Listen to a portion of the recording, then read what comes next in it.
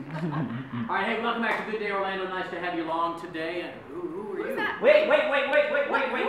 I, I just, I, I'm here. on Tuddle? Yes, hey. Tuddle from Monsters in the Morning? Yes, yes, uh, Tuddle from the Monsters in the Oh. morning. I am actually here to drop off invitations to you guys for our seventh annual Monsters Bowling Tournament. We're trying to raise money. It all goes to Rock Pink uh, to help fight breast cancer. I wanted to have you guys out. Awesome event. And I've done this event many years. You guys do a great job. So much fun.